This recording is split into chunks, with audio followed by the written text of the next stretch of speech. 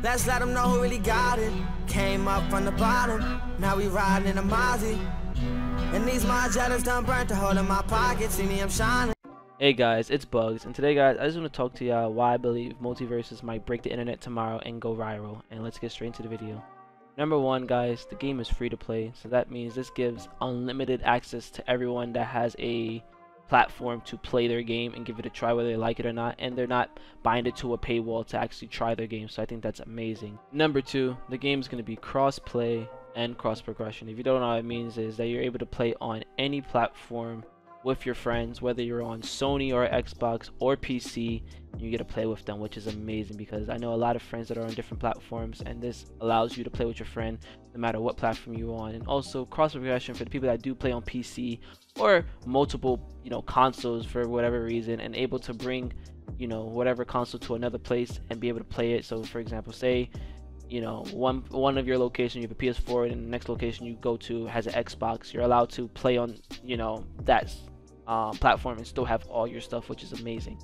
Number three we have is iconic characters and unique voice acting. Guys, we literally have a troll that a troll character that the internet made called Ultra Instinct Shaggy, bro. And PFG said, you know what? This is what the internet want, or we're gonna do it. And they literally add him to the game. Not to mention iconic characters that we already know, like Harley, Superman, Batman, Wonder Woman, and well-known TV show characters like Bugs Bunny, Taz, um, Finn, Jake, Garnet, and all of them. And then movies that are dropping. Oh, and Arya Stark. Let me not forget that. And then a movie character, which is the Iron Giant, and many, many more that we could see in the future. And not only that, we got not no BS, you know, sound effects of their characters. No, we have full voice line acting of them talking and actually communicating with each other. Characters that we thought we would never see even talk to each other are literally talking in this game, which I think is so crazy to even think about that. It's gonna draw so many people into this game just to see it themselves and play it themselves. Number four, the gameplay is unique. I don't think this gameplay is this game is like any other. You know, a lot of people is gonna compare this to Brawlhalla or Smash or just platform fighters in general. But guys, this game plays like its own. I don't think there's any game like it. Literally, the gameplay is so unique. None of the characters play the same at all. They all have their own niche and they have their own like thing that literally from their show like what like what you expect them to play as is exactly how you're gonna see it in this game, bro, and possibly even more. Like for example, Velma. Did you think Velma will ever get into a fighter ever? PFG said hell yeah and they already had a gameplay and her move set and stuff. You tell me Velma gets into this game, I'm just thinking like, what can she do? Drop her glasses? Which is funny is that she actually do have a move set that allows her to drop her glasses as a move set. But everything else, bro, you I could not think of one other move set, but PFG did it, and she's amazing and she's a great character to actually play as, which is just crazy to me. And guys, it's just it's definitely worth it to play if you haven't already. Number five, that this game is maining on 2v2s. Now, if you didn't know, um, fighting games used to be a very popular thing back then, but I think the reason why it kind of dwelled down and not popular anymore is because of multiplayer games, you know, that allows you to do 3v3, 4v4, 5v5s, shoot even MMOs that allows you to play with hundreds of people in one server. And I think, you know, seeing all that, it's like, why would I keep playing a one-on-one game when I could play with multiple people and have more fun playing with more people? And I know 2v2s isn't crazy of a big increase, but at least it allows you to play with that special somebody or your best friend or you know someone that's really good at the game also, and you know y'all just go at it and go against other people in the world. You know it's gonna be a fun time, and I think that's what um is gonna draw more people into you know playing fighters. Like oh I get to play with my friend instead of going against my friend all the time. You know so I think that's a huge thing for this game. And number six we have is esports, and if you know me, you already know what I'm gonna say. But pretty much I feel like every game needs an esports besides you know like open worlds and stuff, but it gives its longevity of of you know playing and stuff you know. It gives people a reason to play and um, people to you know look forward to and grind for even you know watch people you know enjoyment excitement of watching someone at a higher level that they can't reach. Like example sports you know. Why do people watch sports? It's because they can't do um, what you know what people do on those sports things so they watch it because it's entertaining for them. So same thing with this. It's going to be a huge entertainment thing to look forward to and again possibly learn from people and stuff. It's just going to be such an amazing time. Number seven third party um, event support which um, the devs talked about is in like like LAN centers or like tos third party people that want to run tournaments.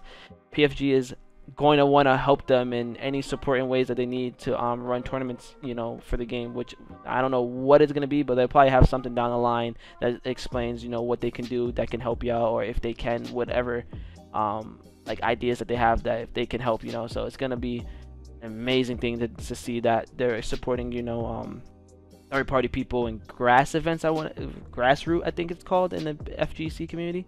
But yeah, number eight, guilds.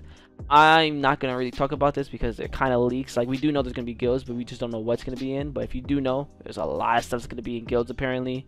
Um, and yeah, let's just say like if they do it correctly, I think it's gonna be something very unique um, in the FGC community and just gaming in general. You know, something to actually use because you know, in most games, all it is is just a group of people in a guild. Just to just say that you're part of like I guess a friend group, and then that's it. So to actually see that they're doing, you know, what they're doing.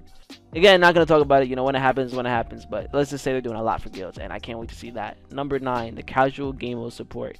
Guys, these guys are pretty much it kind of goes into number 10 too is a live service support guys they are here to support the players and what they want they can have ideas and they're going to have the ideas obviously same with players and if the player you know base wants something it looks like they're down to you know actually do it if the community wants it as much as you know it's being said and stuff so they're here to support what the community wants versus not saying like uh, versus their own ideas but it's more like hey this is our picture that we're thinking of, but if the community could convince us that they want it this way, we're down to do it, which I think is an amazing thing that devs, um, like other devs should, you know, take in considerations. Because like even though you do, you are making the game, and you know, your decision most likely could be right. Who's playing your game? You know, as long as it's not broken or you know out of crazy wonk bonk. As long as the community is like, hey, we prefer this. Why would you not want to do that to keep your player base happy? You know.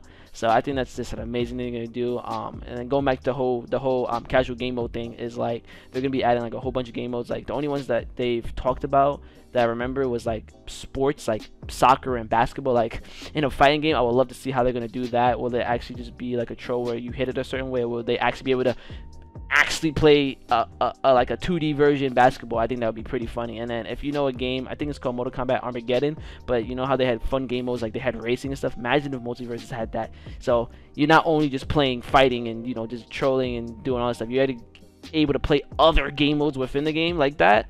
I think that would be so cool, unique, and they'll give more of a player base to the game. You know. Um, and then finally, bro, it kind of goes into the same thing I've been saying, but is the dev support, bro.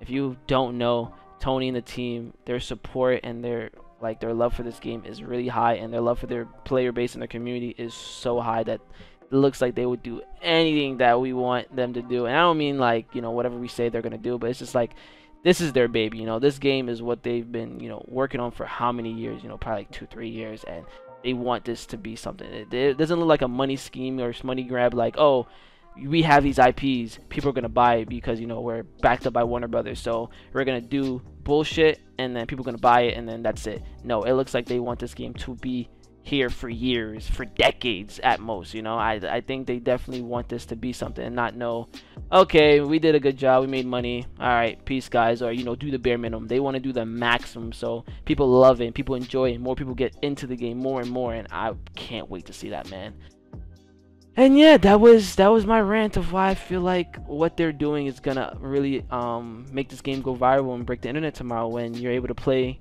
if you don't know you're able to play the game tomorrow um, multiple ways to get in. I'll, at the end of the video it's literally gonna show y'all um, a video um, of like how to get in because there's like 400% ways to get in. Even if you didn't play the playtest there are multiple ways to get in whether it's um, watching a stream for an hour um, whether it's you know having access, whether it's just buying the founder pack, and then finally if you're going to Evo, you get access to that way too. So leave a like if you like the video, comment anything, comment y'all ideas, comment if y'all believe the game is actually gonna go viral or is it gonna flop. I, am just curious, man. I would love to know uh, what y'all think. And finally, if you do enjoy multiverse videos, then this is the channel for you guys because I do the tips and tricks. I do the news, I do the gameplay, I do the esports, anything multiverse related, I do it here on this channel. And yeah, hit the subscribe button, guys, and I'm out. Peace. Yeah, she got a man, she don't really give a fuck about. Back home in a whole state. Moved to LA cause she wanna be famous. Got another five on the side, she a waitress, but it's getting tough. Hard to find